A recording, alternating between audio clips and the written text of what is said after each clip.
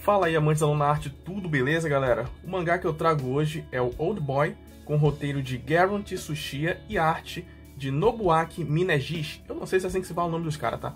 Uh, foi lançado originalmente pela editora Futabasha, né?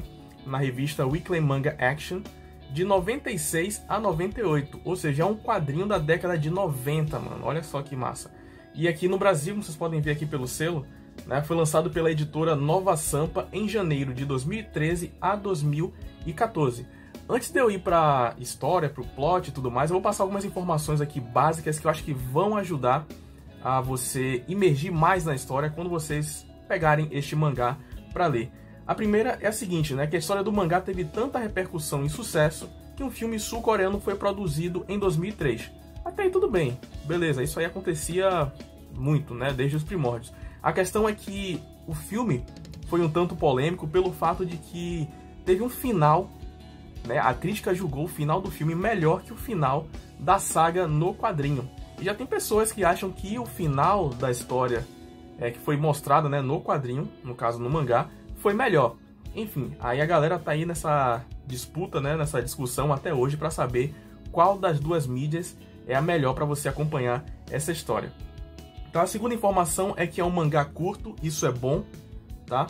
Até porque a editora Nova Sampa não tem a fama de concluir suas, seus mangás, né? Ela lança dois, três, quatro, cinco, para, não lança mais, desiste, aí pega um outro, lança, não conclui, mas Old Boy deu a sorte de ser concluído pela Nova Sampa.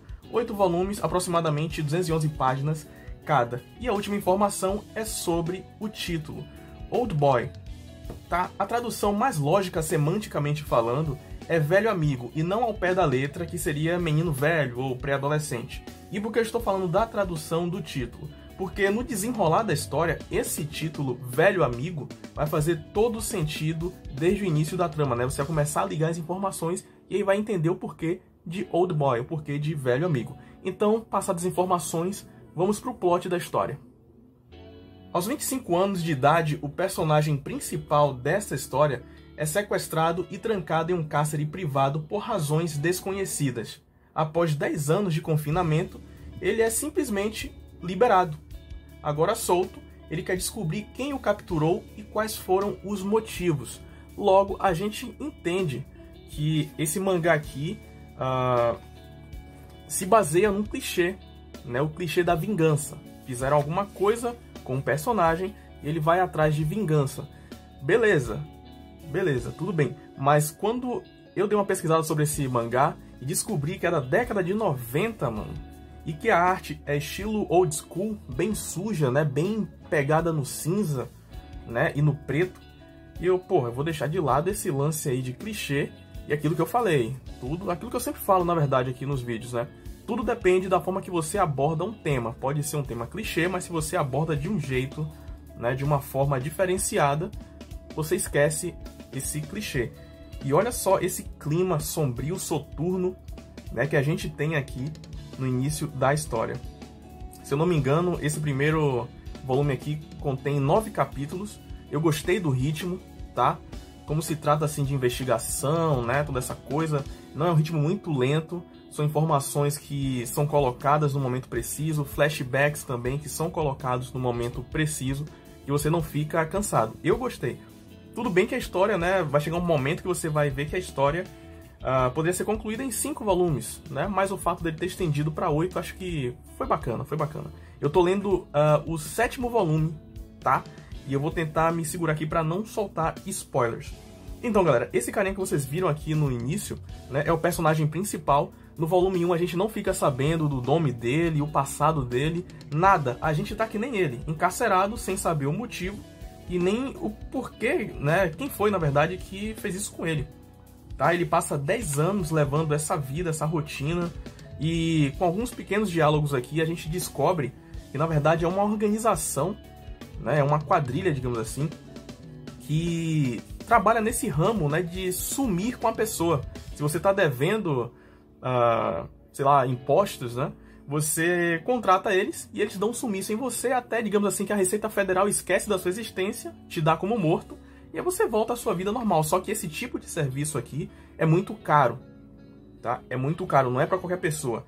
Geralmente, quando a pessoa fica seis dias, dura, custa na verdade, né, uma semana, vai. Uh, o valor máximo, né, é de 6 mil reais, tá? O personagem aqui, como vocês ouviram aí, né, como eu falei no início do, do vídeo, ficou preso por 10 anos. Então aqui no, na história faz um cálculo aí de que o cara que contratou para dar um sumiço nele gastou 6 milhões de reais para dar um sumiço nele, tá? E aqui a gente vê ele sendo despachado, né, numa mala, um táxi, só com apenas 20 reais no bolso.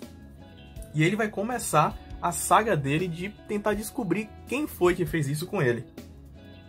Tá? É muito interessante o que leva você, apesar do clichê, né, de ser uma história de vingança, é muito interessante porque me lembra um pouco Death Note, que bem pro finalzinho aqui do volume 1 você vai descobrindo que um ricaço realmente, de fato, contratou esse serviço, né? E escolheu para dar um, não dar um sumiço nele mesmo, né, no ricaço, mas sim para dar um sumiço no nosso personagem aqui que a gente acompanha.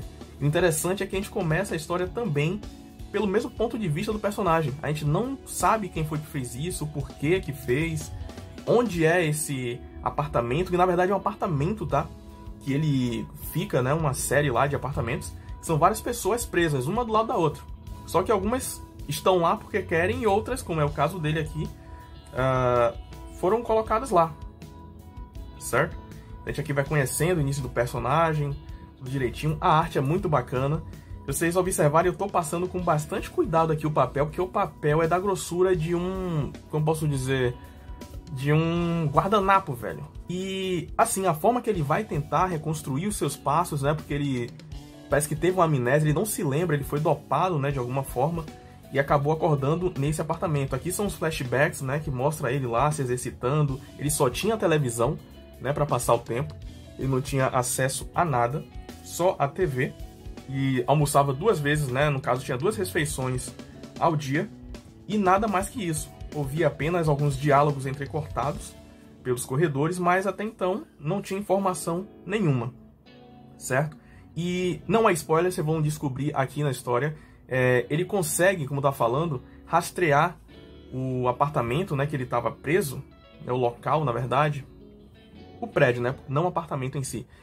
Quando ele observa que nas marmitas que a galera, os carcereiros, digamos assim, né, entregava para ele, acabou caindo um pedaço de nota fiscal dentro da marmita e ele aí quando foi liberado, ele lembrou do nome, né, do restaurante que fazia essa marmita da nota fiscal, Dragão Azul, e aí começou a pegar os endereços de todos os restaurantes ali da redondeza com o nome Dragão Azul. Só que isso aí não foi o suficiente ainda para ele encontrar né, o, o paradeiro do cárcere dele. Bom, e é o máximo que eu posso falar para vocês de Old Boy, mas vão por mim, é uma história muito massa, muito da hora, década de 90, na época que ainda os clichês não estavam à solta, né? Tinha, mas não da forma que tem hoje em dia. Hoje em dia a gente se baseia em histórias do passado para tentar emplacar de alguma forma. As folhas de páginas duplas é muito incrível, muito da hora. Aí eu gostei muito desse tom soturno, sujo de história que vocês podem ver, ó, remetendo, né, muito à solidão do personagem. E, enfim, galera, é isso aí, Old Boys, que eu indico para vocês. E espero que vocês tenham curtido. Valeu, falou.